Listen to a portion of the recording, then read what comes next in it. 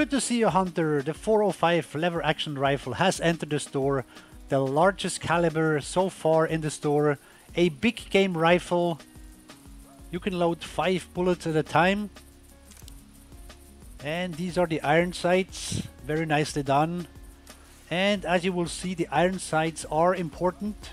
When I click here on the slot for scopes, there isn't any available. There are no scopes currently available for this rifle. So I'm going to turn it into the sun here so you can see it well.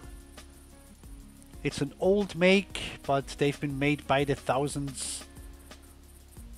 And of course we want to take it over to the shooting stand and see how it does. I have unloaded the gun so that we can have a look at the loading animation from the first person view as opposed to the other lever action rifles, this one is loaded from the top.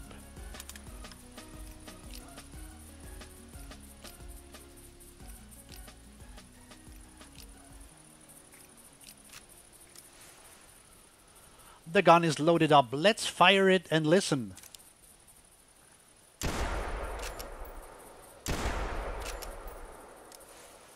What I'm noticing is that this gun is fairly stable there's practically no recoil.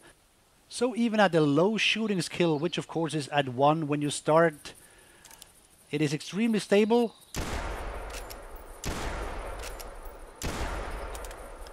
There is practically no knockback.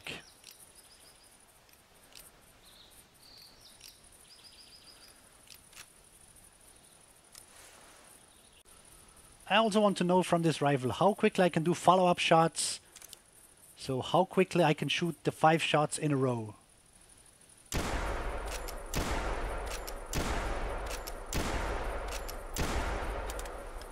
Wow, I would say this is fairly fast. This is really a gun for uh, shooting a lot of animals at the same time. If you care for your shooting statistics, then no, that wouldn't be the answer.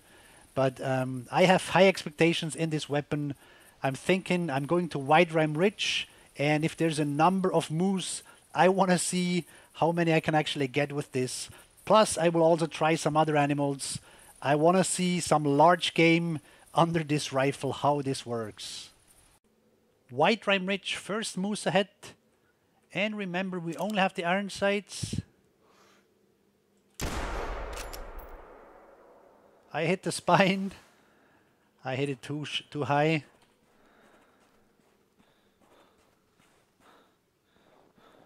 and it died. Oftentimes animals will survive for a few minutes when they shot when they're shot in the spine. This moose didn't live for very long. Here is our moose. So I actually hit the spine plus the liver. That's why it died fairly quickly. The shot was from 115 meters. And I got the achievement. First lever action rifle 405 kill. Bison coming up here.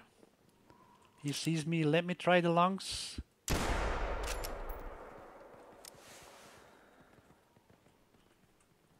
I had to shoot fast before it saw me or it would have turned towards me. So this long shot worked out at maybe 20 meters, 25 meters. So far so good. Exactly 20 meters.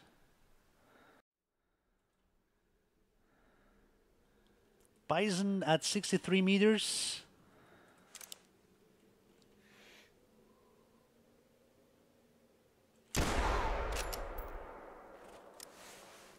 I hit it where I wanted to hit it. The bright spot on the side.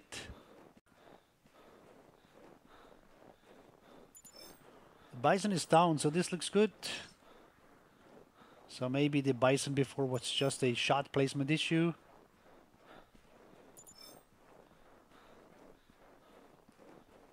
This one didn't uh, run far either. 63 meters. So this one went well. There's always a lot of moose here And I want to do a little comparison between the 405 and the 340. Just shoot a moose cow from roughly 100 meters. Of course, I'm going to use the iron sights on both so that we have an apples to apples comparison.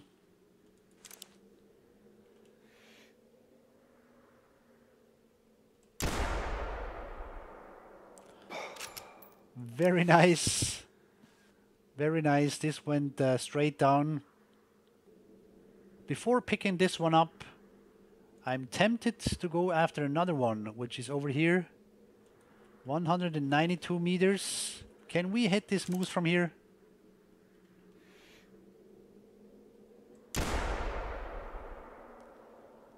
I think we can. wow, that was a good shot. Now let's look at these two. So the first one from straight ahead. We hit a lot of neck bones and the brain as well. From 113. And the second moose is here. Bright blood. We hit the heart at 192 meters. So this is possible with the 405. Same tower, moose at currently 144.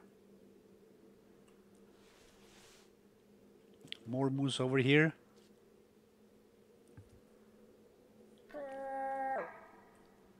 But like I said, if we want to have somewhat like an apples to apples comparison, we should also shoot the same animals. Oh, there's another.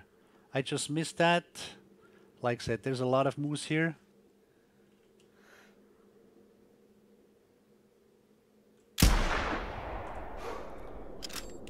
And it went down. The iron sight on the 340 are easier. If we just want to compare. You have this little pin in the middle. So this makes it easier as compared to the 450. It also has the pin, but it's a bit a bit thicker, a bit harder, and of course also the fact that this is all pitch black when you aim at these moose. That's pretty hard. Again, the 340. I find the 340 iron sights just a, a little bit better, just slightly easier to aim with. So we have a 140 meter kill here with the 340. And now we need to also produce one over a greater distance. So let's pick up this moose here from the 140 meter shot. Double lungs. Went straight down. Moose bull ahead. This could serve as our long shot here.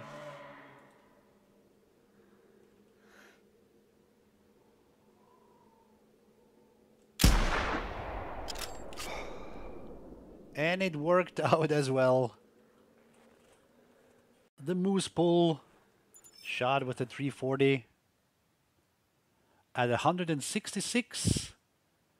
Double lungs on this one. So we had the 405 shooting a moose at 120 meters and one at 190 meters. That is 310 meters. The 340 had shots over distances of 144 and 166 meters. That also equals 310 meters. I would say these two weapons are equal with this little fun comparison. Of course, we cannot end this test without coming to the land of the pajamas and the big cows. We will have to do some shooting here as well. And I'm running into an angry cow here. Hello? It's a small male buffalo. Hello? Ole! Unfortunately for the bull, the tree is in the way. Come on again. he cannot reach me. Ole! And now I'm stuck at the root. Come on over. Ole! And you're dead. but this was from uh, really close. The first water buffalo.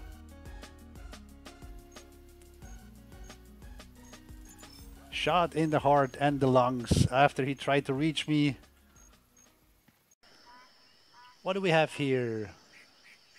Male or female? Female at 40 meters, charging already. Come on. Are you kidding? Ooh, that went nice. Could have been a spine shot. I thought I was slightly high on this one. I had to rush it though. I hit the brain.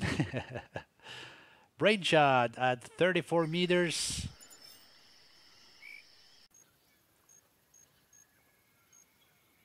Banteng Cowhead wearing the orange pajamas.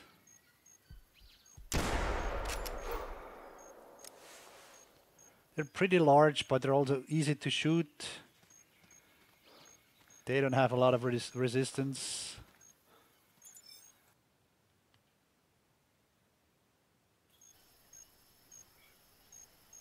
This looks like just a perfect bull to end this field test.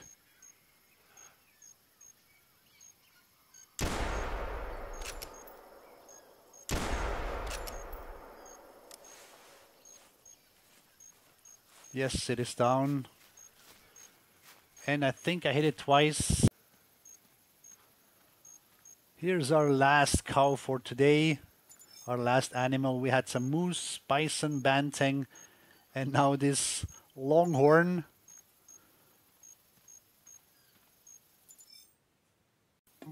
This was our little field test for the new 405 lever action rifle, big game rifle. I believe it's about equal to the 340, not so much because of my little field test, of my little long shot test, but also otherwise in general shooting the animals. It feels about the same, it's got about the same power.